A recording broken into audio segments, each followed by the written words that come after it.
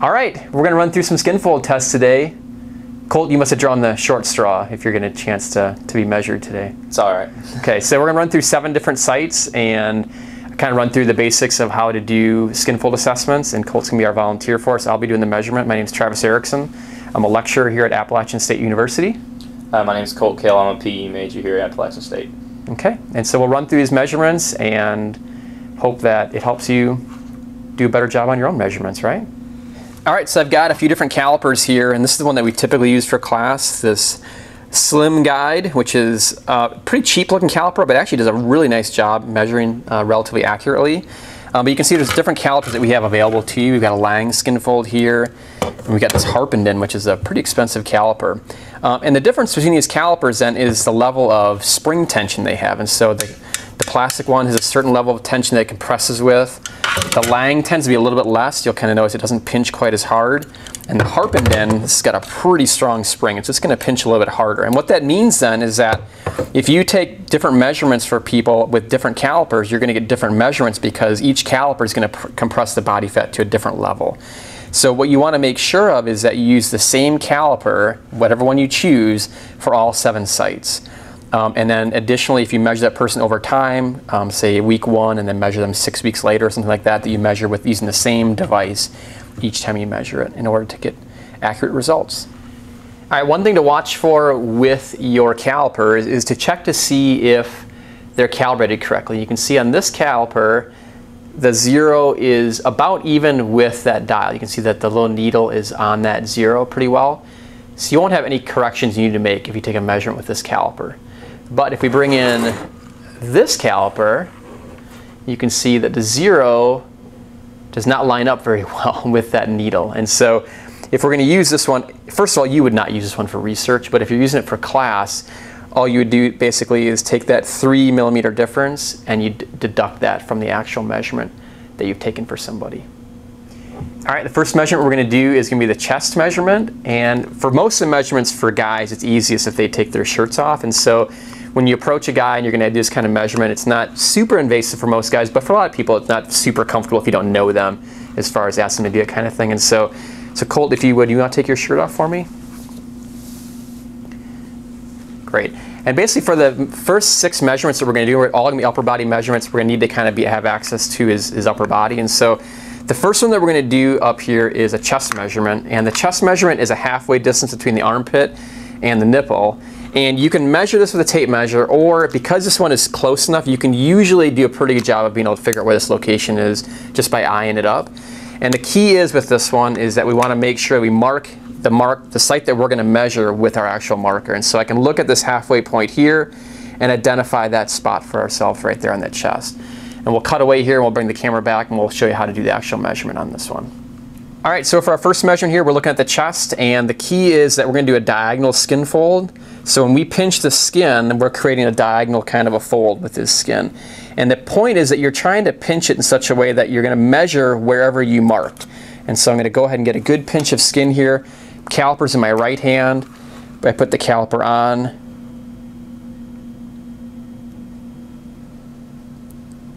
Let it sit for a couple seconds and take my measurement. All right, next one we're going to do is a mid-axillary measurement, and this is going to be a halfway point along, it's going to be right on the mid side, if you will, on, on, the side of your body here. And what we're looking for is a level even with the xiphoid process or just below the sternum. And it's going to be right along his midsection on the side over here. And Colt's doing a good thing for us. He's going to move his arm out of the way in order for us to find that location. And we'll go ahead and we'll mark this spot. And again, we're looking for a spot that's even with the xiphoid process and right on the side of his body. So it's going to be right through that point. And then we'll bring the caliper back and we'll take a measurement on this one as well. All right, so this site is going to be a vertical measurement. This one's hard to do because usually there's not a lot of fat on a person on the side here but we're going to do a, a vertical skin fold and get the caliper on there and then take our caliper off. Good job. All right, next one we're going to do is a suprailiac measurement. And Colt, if you will, why don't you go ahead and see if you can locate the top of your hip bone for me. And the reason I'm having Colt do this is because if I start poking around there, it can be very ticklish and it's also not a very can be kind of a sensitive area for some people. So he's got that spot for me, so that's good, and he can let you, can take your hand away. And we're looking for a diagonal skin fold that kind of parallels the top of that iliac crest. So what we're measuring here is on the side like this in terms of it's a it's a diagonal skin fold more medial.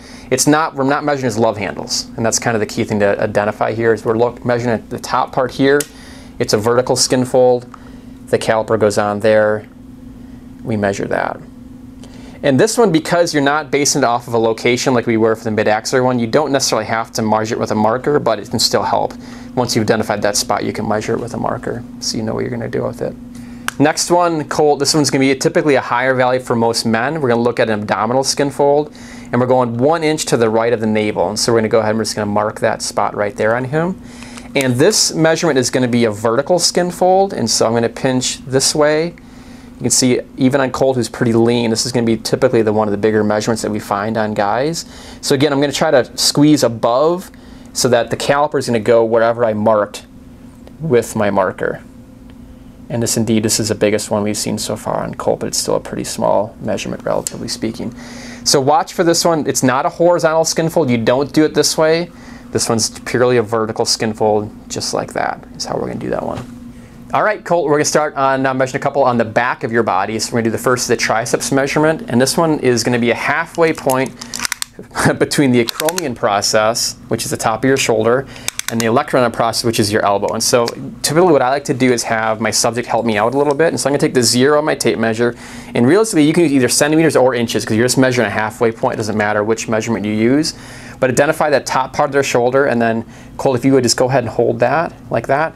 And I'm gonna have you bend your elbow, and then I'm gonna go and measure down to the bottom of his elbow, which is the olecranon process. And I can see right now this is at about 40 inches, or 40 centimeters rather. And so if I measure here at 20, you can see right now where I've marked his arm, I'm gonna spin you a little bit, that's obviously not the back of his arm, right? But what we can do now is we can take this measurement that we've measured here and we transfer it now to the back of his arm. And so we can use our tape measure again just to make sure that we're pretty level here and we can go ahead and we can move that measurement to the back of his arm. Because what we're ultimately looking for, and you can let you relax your arm, is we have a mark now, it's halfway between his elbow and the top of his shoulder. That's the spot that we're looking for. Okay, now we measure his triceps one, and you can see we, we move this mark over as best as we could from the side to the back of his arm. And we have a guy that's bigger, kind of like Colt is. It's hard because he's got a bigger muscled triceps, and so it's harder to kind of find that spot for us. But do the best you can to get that midway point between the top of his shoulder and his elbow. The key here with this measurement then is that we want to have our measurement directly on the back of his arm. And one of the issues I see with a lot of students is that they end up measuring somewhere over here, which is not the posterior part of his arm. So we want to do we want to make sure that we're directly on the back of his arm, which in this case we are. This skin fold then is going to be a vertical skin fold, so I'm going to pinch just like this above that mark again, and my caliper is going to go below my fingers just a little bit to where that mark is, and that's the spot that we're going to find. For guys, this measurement is not typically super high. For some women, this ends up being a little bit higher measurement because women do tend to carry more body fat in their triceps than men do. So that's just a little tidbit about this spot. All right, Colt, we're gonna do another one on the back of your body. This one's gonna be the subscapular. The scapula refers to your shoulder blade, and so what you can do on this one to help you find where the scapula is is have your subject reach his arm behind his back like this. And when he does that, that typically tends to pop that shoulder blade out a little bit, helps you find where the scapula actually is. Once, his, once you've identified where it is, you can have him relax his arm. And what you might want to do in order to kind of find this is you've got to kind of poke around a little bit here to find where that scapula is. And if you imagine the way your scapula is arranged on your back, it kind of runs down your body like this at an angle. And the skin fold that we're looking for then is going to parallel that inferior angle or that medial border of that scapula. And so the skin fold that we're going to look for is going to be a diagonal one just like this, as opposed to like this. Because your skin doesn't really move this way, even though it is diagonal, it's not going to be the way this measurement is done. It's going to be done just like this. And when you when you feel that area on that person's your subject's back, you should notice that the skin will fold pretty easily in this direction. So let's go ahead and we'll measure this one up for him. All right, so we've measured and marked his spot here. We found that uh, area that's parallel to that scapula. You can see how his skin fold just, it normally does that vertical skin fold for, or that diagonal skin fold. Once we've found it, it'll naturally kind of go into that position for us. If we've, if we've taken that fold now, put our caliper on that fold, and then we go ahead and take our measurement. Just like that. All right. All right, Colt, last one. We're going to do a thigh measurement, and this is another one where I'm going to have you help me out because we're looking for a midway point between Colt's inguinal crease and the top of his patella or the top of his kneecap. To find the top or the inguinal crease, we're going to have Colt just flex his hip just a little bit. Just lift your leg just a tiny bit here. And you can see where his pant creases like that. That's the inguinal crease. So I'm to have Colt go ahead and hold that zero on that spot. It frees up a hand for me and allows me to avoid putting my hand in a sensitive area necessarily for our subject. So we're looking here, we got about 42 centimeters, and so I'm gonna have Colt keep holding that, and I'm gonna go ahead and mark 21 centimeters, just like that. So that's the midway point between inguinal crease and the top of the patella. All right, so we've got our thigh measured here. and Now this one is going to be another vertical skin fold. And Colt, if you've been paying attention, we've noticed there's been no horizontal skin folds, right? All vertical or all diagonal on all of our measurements we've gone through so far. Now the key with this one is we want to make sure our subject has most of his weight on his left leg. And so we're going to have his weight on as little as possible on his right foot. And that way his, his quad is relaxed for us, which it looks like it is right now. And then we're going to go ahead and we're going to grab a vertical skin fold. This one's tricky because people tend to carry a good amount of body fat on their thighs. So we got a good pinch here above that mark. Got our caliper on here. And we take our measurement, just like that. There we go, all seven sites done. All right, now when you're doing measurements on any of the sites, a couple of key things as far as etiquette with the caliper. It's a dangerous weapon when used in the wrong hands. And so what you want to make sure of is first is that your fingers pinch their skin first the caliper goes on next, then the caliper comes off, and then your fingers come off. And so your fingers are always the first thing to touch their skin and the last thing to touch their skin. So you always want to hold that pinch with your fingers the whole time that caliper's on there. The last thing you want to do is let go with your hands and let that caliper begin to slip and bind on them, okay? So be very careful when you're using the caliper that you do two things. One, keep pinching with your fingers, and then when you get ready to take the caliper off them, don't just yank it off them because that's not going to feel good as a cold. No. so what you want to do instead is you want to make sure once that caliper's on them, you push the trigger again to release it and take it off of them. All right, one other thing to watch for with the caliper is where does the caliper go in relation to your fingers? And what you're looking for is once you've created that pinch, again, you're going to pinch above wherever the mark is that you've identified for your spot and then the caliper is going to go below. And you don't want the caliper to go right on your fingers because that's going to mean that your fingers are creating the pinch more than the caliper is. And so what you're looking for is you create that pinch, you create that bubble of skin, and the caliper goes just a little bit below your fingers, but not like way below down through here. And so you're looking for a distance just a couple centimeters below where your fingers are. You're, so you're trying to create a natural skin fold with your fingers when you pinch it, and then the caliper's spring, the spring that's on the caliper, its job is to compress that subcutaneous fat to a specific amount. And if you have the caliper too close to your fingers, your fingers are doing the compression and not the spring. All right, so we did one measurement on each of your sites, and typically with skinfold measurements, you're gonna do at least two measurements on each site, and you're looking for measurements that are within one to two millimeters of one another. Um, so typically what we do in class is do two measurements at each site, if those two are very close, you can keep those. If not, you do a third measurement and then throw out whatever measurement was not close to those two that you were doing.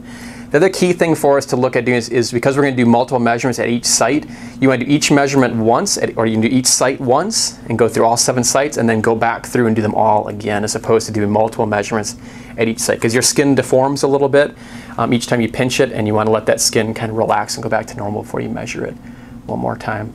Colt, thanks for helping us out no today. Problem. Appreciate it. Yeah, it's great.